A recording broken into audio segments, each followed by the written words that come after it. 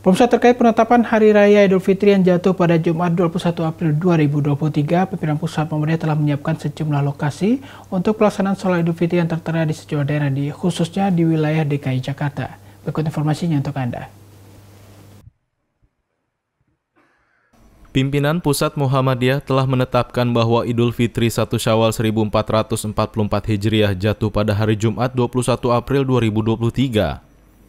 Penetapan ini termuat dalam maklumat pimpinan Pusat Muhammadiyah yang termuat penetapan hasil hisap Ramadan Syawal Zulhijjah 1444 Hijriah.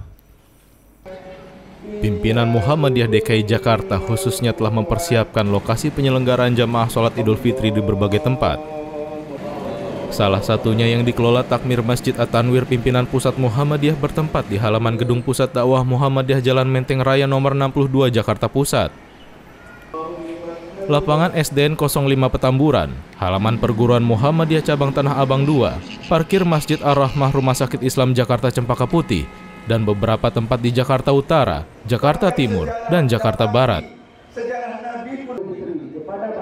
Selain di DKI Jakarta, sholat Idul Fitri pada Jumat 21 April 2023 juga berlangsung serentak di beberapa wilayah di seluruh tanah air.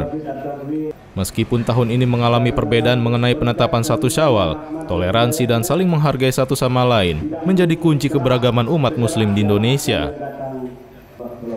Tim TVMU memberitakan.